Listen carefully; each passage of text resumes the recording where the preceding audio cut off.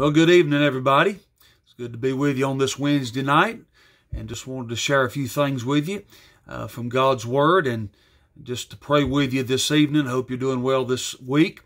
And uh, as we said last Sunday, uh, that this coming Sunday, the um, the recommendation uh, to not meet with more than 10 people has been lifted for now. So what we plan on doing this coming Lord's Day is meeting again at 11 o'clock in the parking lot. And I believe uh, that the majority of the people feel comfortable doing that this coming week.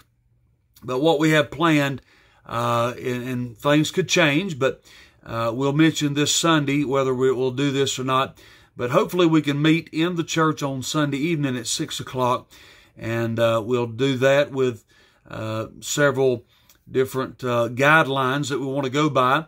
Uh, certainly, this term that we've used, uh, we hear every day, this social distancing. Uh, we'll try to do that. We'll have everything uh, sanitized best we can. Uh, we'll try to go and clean the pews. And as you come in, we'll probably just have the doors open where you can walk on in, not have to touch the doors. And then you can come in and sit down. We'll uh, certainly, you can sit with your family, but we'll try to have some distancing among uh, the people. And uh, what we'll try to do is if you'd like to come sit in the parking lot, we'll try to have the FM transmitter uh, going that evening as well. And so we have to do a little bit of work and getting all that hooked up. But uh, we'll try to do that. If you'd like to come just sit in the parking lot, you can do that. And then if you'd like to come into the service, there's some that feel comfortable. Uh, I know I've been to Walmart, and Lowe's Hardware, and some other stores, and it's just uh, uh, people going to and fro, and uh, not a lot of distancing really that I've seen. Uh, but uh, we'll we'll try to have some some guidelines, try to keep everybody safe. If you'd like to come in and sit for the service for service on Sunday evening, we're planning on trying to do that. And so just keep that in mind, and we'll uh, try to get you the radio broadcast put out there on Saturday evening. And I know that'll be a help to some of you that like to listen to the broadcast. And uh, we want to make that uh, available for you. Let's go to the Lord in prayer and uh, ask the Lord to bless this evening.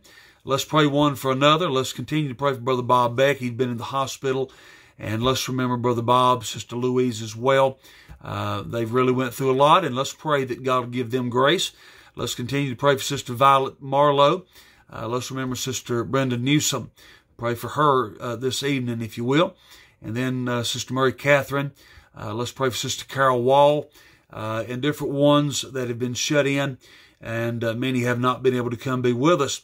But it's been so good to see a good crowd each Sunday. I appreciate you coming out. And I hope that those services, these services that we've had on Sunday, has been a help to you. And uh, I, I, believe it's been good for me. I've enjoyed it. Uh, certainly different, but I've enjoyed that. We want to continue uh, to do what we can. All right, but let's pray together. Pray for the message this evening. I'll be preaching from the book of Ruth, chapter number two. And uh, I want to give you just a few thoughts this evening, but let's pray together. Let's pray now. Father, thank you for this time we have, Lord, just to open the Word of God once again. I pray, Lord, that you'll speak to every heart. I pray, Lord, that you'll comfort us and uh, encourage us. Lord, we need the encouragement that comes from the Bible. God, we need the encouragement that comes from gathering together. And uh, Lord, that's been hindered somewhat, but we thank you for what we've been able to do. I thank you for the uh, the uh, the opportunity to get on Facebook and to put these things out there and on YouTube as well. Uh, I pray that these messages will be a comfort and a help and a strength to those that listen. The Lord, we pray for these requests that's been mentioned. Sister uh, Louise, Brother Bob, we pray for both of them. Lord, touch Brother Bob and help him in this time. We pray for Sister Violet. Uh, Lord, continue to help her to recover. Sister Brenda, Sister Mary Catherine. Uh, we pray for these. Sister Carol. Lord, all the many needs, we pray for these. God help each one. I pray, Lord, for our people. Lord, you keep them safe. Watch over them. Lord, I pray that the best days are ahead. I pray that, Lord, we'll have uh, a move of revival and awakening. I pray, Father, that we'll fall in love with Jesus afresh and anew. Lord, I pray that we'll have a, an appreciation for, for the church in a greater way than we've had. I pray, Lord, you'll bless us tonight. Lord, lead and direct in this message and speak to every heart. We ask this in Jesus' name. Amen. If you have your Bible this evening, turn with us to the book of Ruth, chapter number two. I want to start out by reading the first three verses that we find in Ruth chapter number two. The Bible says in verse one, and Naomi had a kinsman of her husband's, a mighty man of wealth and of the family of Elimelech, and his name was Boaz. And Ruth the Moabitess said unto, unto Naomi, Let me now go to the field and glean ears of corn after him, in whose sight I shall find grace. And she said unto her, Go, my daughter. And she went and came and gleaned in the field after the reapers, and her hap was to light on a part of the field belonging unto Boaz, who was of the kindred of Elimelech. Now, I want to preach tonight, and I, I see the Bible says that she went out into the field to glean ears of corn, the Bible said. The Bible says in verse number three that it was uh, a part of the field that belonged to Boaz. Now, there's so many messages, so many different ways to deal with the book of Ruth. And I've tried to, over the years, preach from the book of Ruth, and I've enjoyed doing so. What a great book of grace. What a great book of redemption. And uh, what a blessing this book has been to me. I've covered it many times, preached from it many times. I've heard a lot of great preaching from this book. But I want to preach on this thought tonight of gleaning in the field of Boaz. Now, uh, Ruth came from Moab. The Bible tells us about that in the story we read in chapter number one, that she came from Moab. She was a Moabitess woman.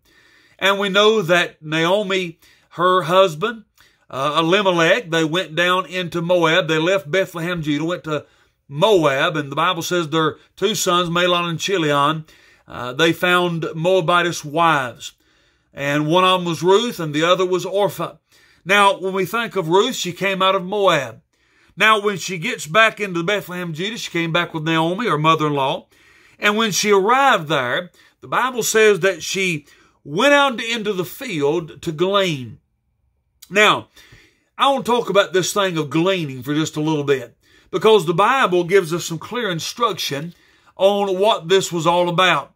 You see, under the Mosaic system, there was a law of gleaning. The Bible tells us back in Leviticus chapter number 19. Now listen to what the Bible says here. The Bible says in Leviticus chapter 19 in verse number 9, and when you reap the harvest of your land, if someone had a field and they had a, had a harvest, it says here, when you reap the harvest of your land, thou shalt not wholly reap the corners of thy field, neither shalt thou gather the gleanings of thy harvest. And thou shalt not glean thy vineyard, neither shalt thou gather every grape of thy vineyard. Thou shalt leave them for the poor and the stranger. I am the Lord your God. Now he tells them here, when you go out into your field, don't reap the corners and don't glean everything. And if you have a vineyard, don't get every grape. He said, leave this for the poor and for the stranger. Now, this was God's way of taking care of the poor. And he did that. Now, the farmer, what did the farmer do? Well, the farmer plowed the field and planted the field and plucked from the field. But don't forget, God gave the sunshine he gave the showers and he gave them strength that they might go out and glean from their uh, or, or reap from their own field. So they had their part, the farmer did, but God had his part. God said, when you go out to reap, don't reap the corners and don't don't take everything and don't take if you have a vineyard, don't take every grape. Leave that for the poor. Now, God certainly did take care of them, didn't he? Now, as Leviticus 19 and verse 10 said, Thou shalt leave them for the poor and the stranger. Now, there are four groups of people. Now, we're talking about gleaning here. There are four groups of people that would receive the blessing of the gleaning. Now, I want you to remember as we relate this to the story in the book of Ruth, that Boaz, it was his field. Now, if you know anything about the book of Ruth, Boaz is a type of Christ. And uh, Ruth is a type of the Gentile bride, the church. Now, here we see that there are four groups of people that would receive a blessing. They would receive something from this thing called gleaning. Now, the first one was the poor. Now, I want you to understand tonight, relating this to the sinner, that every sinner is poor. So that means that God has given provision for every sinner. Every sinner's poor and undone. They don't have anything. They, they don't have anything as far as salvation or the blessings of heaven. Every sinner's poor. And I want you to see tonight that Ruth was poor. And uh, he said that the poor would receive the blessing of the field. Hallelujah for that. But we also see that the stranger would receive the blessing of the field. Now I want you to know tonight that every sinner is a stranger. The Bible tells us in the book of Ephesians, chapter number 2, and verse number 12, that at that time you were without Christ, being aliens from the commonwealth of Israel and strangers from the covenants of promise, having no hope and without God in the world. Now here we see that every sinner is a stranger. We are we were the enemies of God. We were outcasts. We were strangers. We were aliens.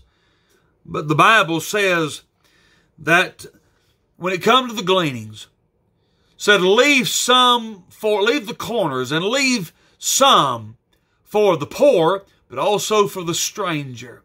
Oh yeah, leave provision there for the Gentile. And you and I, and the church is made up predominantly today of the Gentiles. God said, leave something for the stranger. Now you know that Ruth was a stranger. The Bible says here in our, in our scripture in Ruth chapter number two, she identified herself in verse number 11. She said, I am a stranger. Boaz knew of her condition. In verse 11 says, unto, it says, she come to, unto a people which thou knewest not heretofore. Now here we see that she was a stranger. And so he said, the Bible says the law of gleaning leaves some for the poor. Ruth was poor. Leave some for the stranger. Ruth was a stranger, and so were you and me. But then we read also in Deuteronomy chapter number 24 and verse number 19 dealing with the gleaning. It says there, when thou cuttest down thine harvest in thy field and hast forgot a sheaf, sheaf of in the field, Thou shalt not go again to fetch it. It shall be for the stranger, for the fatherless, and for the widow, that the Lord thy God may bless thee in all the work of thine hands. Now, Leviticus tells us in chapter 19 also over in, I believe, chapter number 22 or chapter 23, I believe it is, in verse 22, that they would leave it for the poor and the stranger. But we go on a little further when we read uh, the account in Deuteronomy chapter 24 says also leave it for the fatherless. Now I want to relate this to every sinner as well, that we were fatherless. Now I know we were of our father, the devil, but we were fatherless when it come to a heavenly father, to a good father. We didn't have a heavenly father. And the Bible says that we as sinners, God has made provision that we that did not have a heavenly father could have a heavenly father. And so we see that the gleaning was for the fatherless. Now I also relate this to Ruth as well. The Bible says when Naomi told Orpah and Ruth to go back because all three of them's husbands had died she told them there in, ver- in chapter 1 and verse number 8 said, And Naomi said unto her two daughters-in-law, Go return each to her mother's house. Now I know, I know, I've read up and studied on what this means. The daughters would go and would be separate. The women be separate from the men and they would go and they would be with the mother. And uh, Naomi was saying here, you would relate better to your mothers than you would to your mother-in-law. Now, Naomi may have had, or Ruth, I should say, may have had an earthly father, but it said to go back to your mother.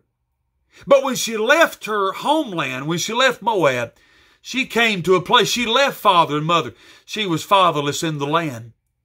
So here the gleaning dealt with the fathers, but it also, according to Deuteronomy chapter 24, it also dealt with the widows. Now, a widow was one who did not have a provider, who had lost her husband. And Ruth had lost her husband. She didn't have a provider. But every sinner has lost their provider. They didn't have someone to take care of them. I'm talking about in the spiritual realm. Thank God we have a, a God in heaven that says, I want to take care of you. I want to provide for you salvation. I want to give to you life. So here the gleaning. When we get to Ruth chapter 2, Ruth goes out in the field to glean. And according to the law of gleaning in the Old Testament, it was for the poor and the stranger and the fatherless and the widow. And this applied to Ruth. It applies to you and me today that are sinners that have come to Christ. And God allowed us to glean in the field and allowed us to have and took care of us. What a blessing that is. Now let me say this. This gleaning may have started by a law, but it ended by grace. The Bible says in back in Ruth chapter 2 and verse number 8, Then said Boaz unto Ruth, Hearest thou not, my daughter?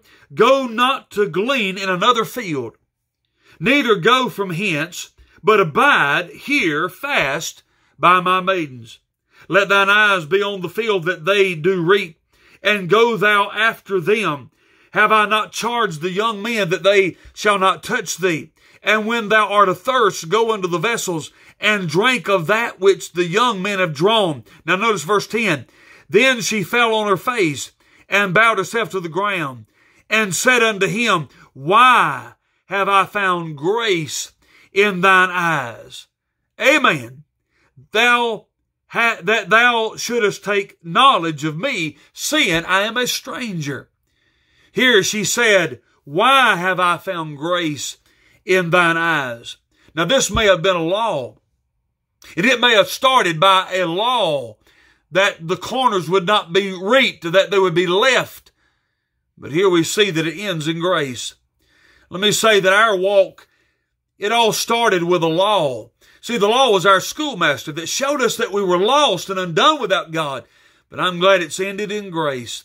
Hallelujah. And thank the Lord for that. Praise His holy name today that we are saved by grace, not by law, but we're saved by grace through faith. It's not of ourselves, it's the gift of God. Now here we see that this ended in grace. Now the Bible said that she gleaned in the field of Boaz. Now I want you to notice this field, and we'll close here in just a couple of minutes, but I want you to see this field. I want you to notice, first of all, it was a fertile field. The Bible says in verse 17, So she gleaned in the field until even, and beat out that she had gleaned, and it was about an ephah of barley. A barley. Now we see that an ephah was a bushel. It was a good day's wage. Let me say that God's field of grace is a good provider. This was a fertile field. God's grace is fertile. It's a provider. It provides things. Let me say that grace provides works. You see, we're saved by grace through faith, but we're saved unto good works, the Bible says. Makes it very clear that we're created in Christ Jesus unto good works. You see, God's field of grace produces works. It produces fruit. There'll be fruit the life of a child of God. It produces joy. Do you have any joy tonight? I do. I know the joy of being saved and what a joy that is. So this field that she gleaned in was a fertile field. But let me also say it was a friendly field. The Bible says in verse number 13, Then she said, Let me find favor in thy sight, my Lord, for thou hast comforted me and for that thou hast spoken friendly unto thine handmaid. Though I be not like unto one of thine handmaidens. Boaz said unto her, At mealtime come thou hither, and eat of the bread. And she sat beside the reapers, and she reached, and he reached her parched corn, and she did eat, and was sufficed, and left. And when she was risen up to glean, Boaz commanded his young men, saying, Let her glean even among the sheaves, the bundles, the handfuls. He said, Let her glean even among the sheaves, and reproach her not. And let fall also some of the handfuls of purpose for her, and leave them, that she may glean them, and rebuke her not. The Bible said that they were just, they were dropping off handfuls off the back of the wagon. Amen. And that's exactly how God treats you and me. I'm glad that this field that we have been gleaning from, I'm glad that God drops off handfuls of purpose. Oh, what a blessing it is. Ever since I've been saved, God has just dropped handful after handful after handful. And my life is blessed. And my life is good. And I have troubles and I have struggles. And I deal with battles on a daily basis. But I'm glad that I have a God and I'm glad that I'm in a field where God is looking after me and He's looking after you. And He has given us handfuls of purpose. It's a friendly field. God has been so kind to you and me. He knew her situation. He knew that her husband had died. He knew she was poor. But He showed her kindness.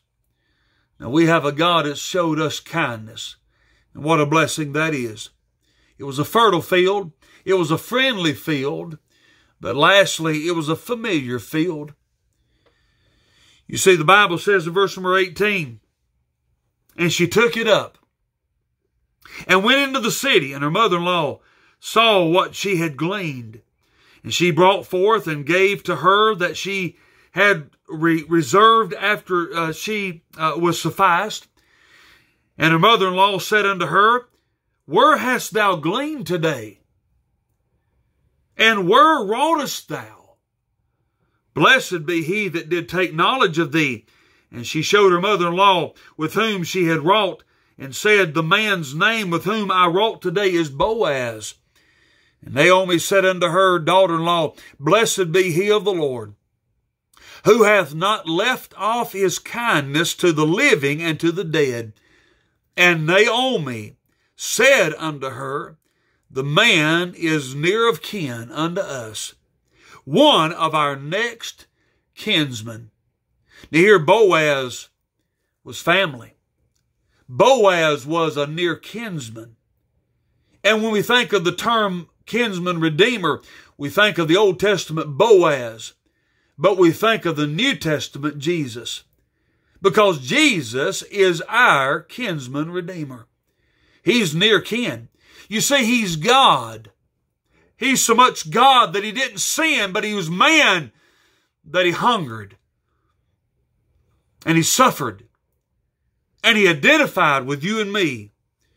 Christ, who is God, was made flesh and dwelt among us. And he is our kinsman redeemer. And this field was a familiar field because it was of a near kinsman. Now I'm glad today that I know Jesus as my personal Savior. I'm glad that I have been permitted to glean in the field of Jesus. And I'm glad that God has been friendly to me. I'm glad that He's been friendly to you.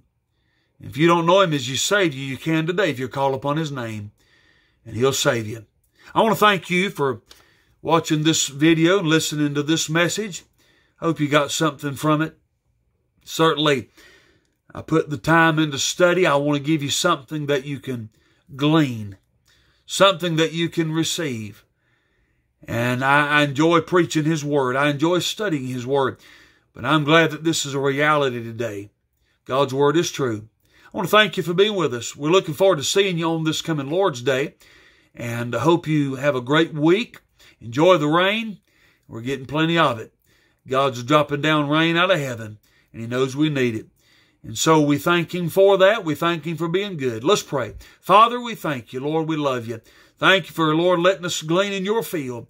Thank you for those handfuls of purpose you drop off, uh, Lord, that we can uh, enjoy and we can uh we can uh, take in, Lord, and we can have for our own. God, thank you for walking with us every step of the way. God, thank you for being our kinsman redeemer. We love you today. We pray you'll be with each one, meet each need, and we ask this in Jesus' name. Amen. Until we see you, God bless you.